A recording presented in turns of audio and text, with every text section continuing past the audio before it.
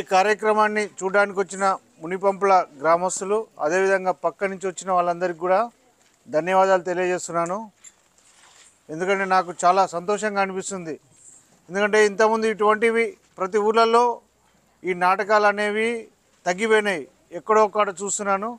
నాకు తెలిసి నేను ఒక పది సంవత్సరాల నుంచి ఎక్కడా చూడలేదు. ఫస్ట్ టైం చూస్తున్నాను. ఇలాంటి నాటకాలు ఇట్లా వచ్చేసి చేయటము సంతోషం. పాత కళల్ని ఈ విధంగా ప్రోత్సహించాలని కోరుకుంటున్నాను.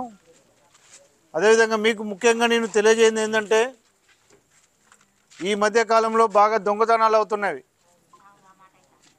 అందరూ చూసే ఉంటారు.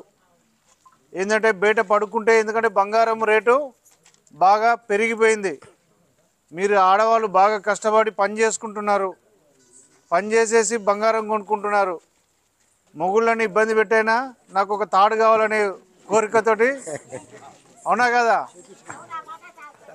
ఆడవాళ్ళకి ఇష్టం కదా? ఎందుకంటే ఎంతో కొంత నాకు బంగారం ఉండాలనే కోరికతో ఏదో ఒక వస్తువుకు ఒక వస్తువు చేయించుకొని వేసుకోవడం సంతోషపడ పడటం జరుగుతుంది మీరందరూ. ఈ బంగారం రేటు ఇప్పుడు డెబ్బై డెబ్బై ఐదు వేల వరకు వచ్చేసింది.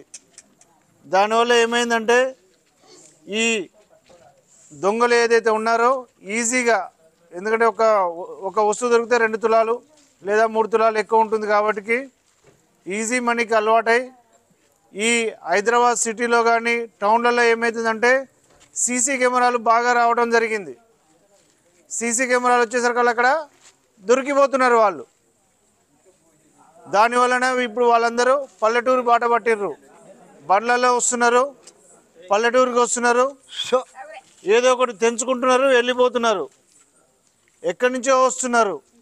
వచ్చేసరికల్లా మాకు కూడా ఎవరు వస్తున్నారు ఏందనేది పోలీసు కూడా తెలియ తెలియ పాత వాళ్ళు అయితే పాత దొంగలు అయితే ఇంతకుముందు మాకు పలానోడు ఇట్లా చేసేది అట్లా చేసేది ఉంటుండే.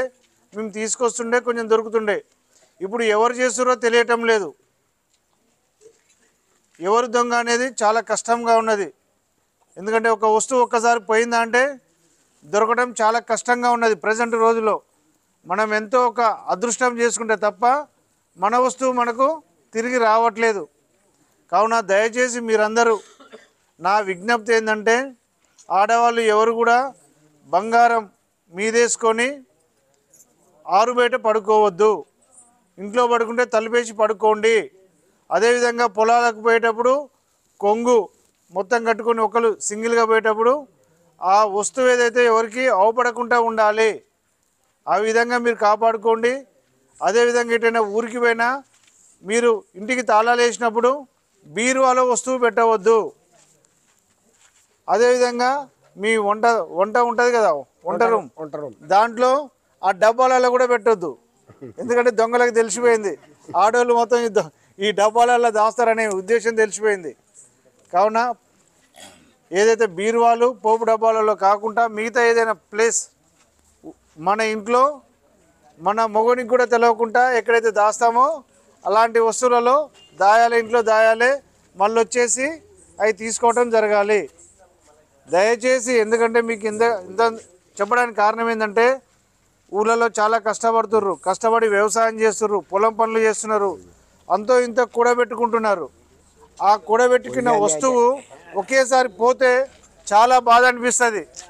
ఇంత కష్టం చేసి తిని తినకుండా మనం ఒక వస్తువుని కొని కొని తీసుకోవటం వల్ల పోవటం వల్ల చాలా బాధ అనిపిస్తుంది.